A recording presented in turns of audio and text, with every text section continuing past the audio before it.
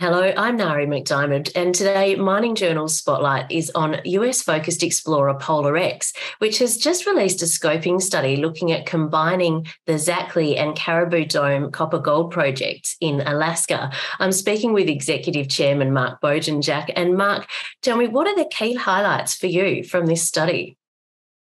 Well, there are a lot of iterations, I can tell you that. Um, and bear in mind, these studies are independently calculated. So, independent metallurgist, independent engineer running a resource model, and of course, an independently calculated resource. So, you know, the job in house is very much just coalescing all those things together into one report. I should start with why we did it. It really wasn't a matter of let's go and build this today. It was more a matter of look, we've got two good deposits here, um, both high grade, both from surface, both wide open at depth and along strike uh, one at Caribou Dome in copper and the other at Zackly, which is copper and gold. And the thought process was, well, look, they're 20 kilometres apart. Uh, there's road access to each.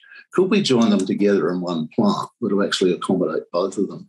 Uh, and would we have critical mass today? You know, something big enough to go and build if you wanted to already, um, so that any additional accretional investment drilling to that would add straight to bottom line. So that was pretty much the idea earlier this year. Um, and to be honest with you, it was a very valuable process for us. It showed us what needs further work. It showed us where the biggest bang for buck will come from additional drilling. And it answers a lot, it answered a lot of, lot of metallurgical questions as to whether you could actually have one facility produce um, concentrates from both these resources. Or would it need to be substantially different? Well, we now know that it could be the same one. And we know how we'd mine each deposit as well. So let's just launch straight into the results, if you like. And you know, when I say results, these things are interim, right? Um, there's a lot of variables. Um, the sensitivities for those variables are in the document. So if you don't agree on copper price or gold price, or uh, you don't agree on recoveries, you know the metrics are there to actually, you know, point on the map and say, well, what might it look like? Otherwise, um, valuable for us too, I might say. Um, it's all about margin in these things. Uh, the reason this works was the grade. You know, there's an average across those two deposits of two and a half percent copper equivalent. It starts from surface, so the mining costs are relatively low. Um, Zackly, we would go underground straight away.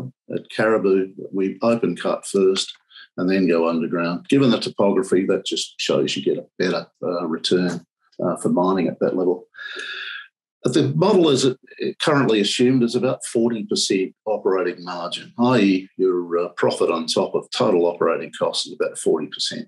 Um, so it's healthy. Um, it could be better. You can have better metals prices. You can have better recoveries. Um, importantly, it's a two and a quarter year payback on these metrics for a little over a $100 million US plant. Um, not a big plant, it's only 600,000 tonnes per annum. But then it's only a 6.8 million um, ton resource slash would be reserve at the moment. So, you know, it, it's a matter of cutting the cloth to suit. Now, we think there's a lot more there. And of course, you may well go up to a bigger plant, faster throughput, better returns. Uh, a matter of proving that.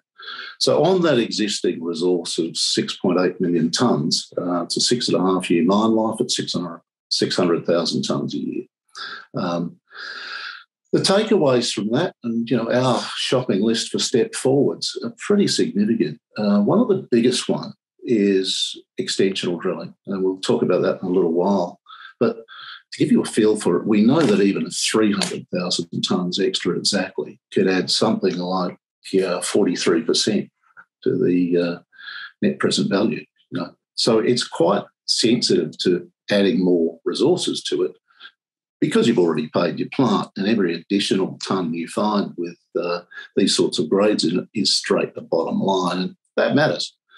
Um, you know, a 500,000 ton increase in both those deposits, which is not a big volume, it's like a little over 50 metres cubed, um, would add in excess of 50 million US straight to uh, net present value. So you know, we're after more tons here, even though it would work already resource extension drillings uh, programs have already been planned. The other big takeaway here is the, the metallurgy. Um, we got what I would call interim results here, and we had to at times try and jump the queue in Western Australia, which has been incredibly busy.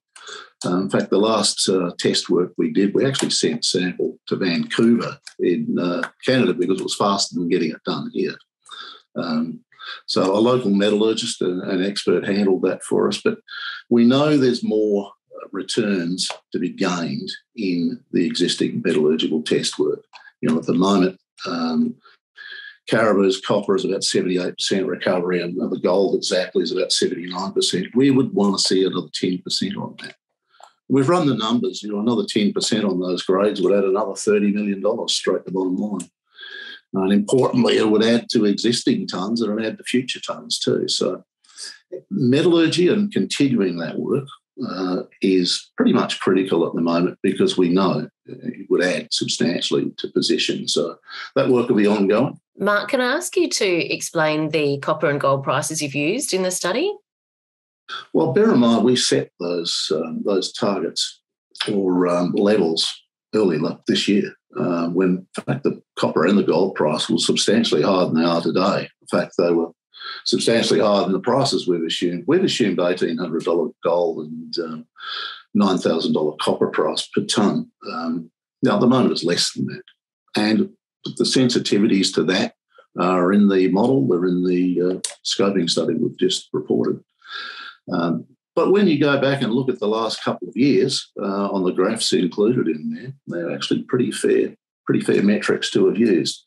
Um, so you know, that's, uh, I think, it's obviously critical, but just as critical is recoveries, to be honest with you, uh, and grades.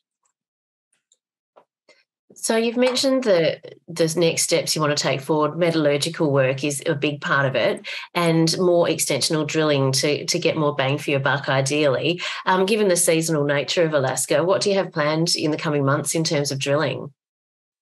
Well, what we now know is where the dollars are you know, in this project. We know at this point at current copper and gold prices that Zackly would add more to bottom line than Caribou. Now, with a move in a copper price or an increase in the uh, recovery at Caribou, or even an improvement in the uh, grade of the concentrate we were able to produce at Caribou, that could flip the other way. But we know all that now. We know those metrics, in, and we can use it as a tool to plug it in and determine where. At the moment, um, we've drilled Zackly along strike for the best part of another two kilometres over the last couple of years. But we've never infilled it all the way back to that existing resource we've got. And some of those holes we've drilled outside of this are up to 50 metres thick at three grams gold from surface. There's other 25 metre hits too, a couple of hundred metres along strike, again from surface, in similar or better grades than we're seeing at Zackly. So it needs infill drilling basically to stitch that all together. Now, I said earlier that you're not looking for big volumes to make a big difference here, uh, but the prospect of doubling Zackly is not unreasonable at all. We know it continues at depth because we've still got grade in the bottom of the holes. Uh, we know it continues along strike. So it needs the investment of the drilling to add to an economic position, basically. You know, that's the driver there. And it's similar at Caribou. Um, we know that it continues underground. In fact, that one of the deepest holes we drilled uh, last season and announced this March was 19 metres at 7% copper. Now, I said earlier, this whole model is predicated on 2.5% copper equivalent, and seven's more than 2.5. So we can keep scoring those. They can make a huge difference very quickly at those grades. Uh, we know Caribou continues along strike as well. Um, we know it's a little more complex. There's a number of lenses there, but it is there. So again, you know, that extensional drilling, knowing that it can add to bottom line, makes all the difference. You know, it's a big difference to having something that's already an economic unit and investing more in it to standing on a piece of ground where you don't have anything yet and that is pure exploration. This is not that at all. You know, this is this is the equivalent of having an unmined mind mind, knowing that you can can actually extend it with a, a relative degree of clarity. So that's what we're about at the moment. So combined, it presents um, a, a, pretty good starting point for all the work you've got ahead of you, Mark. Yeah, it's it's a good outcome for us, and um, I think at the moment, hopefully, most people can absorb it for what it is, you know. And, and if I could leave you with one thought, bigger is better. You know, that's really where we've got to here. And we think we know how to get that. Mark, thank you very much for your time today. Thank you.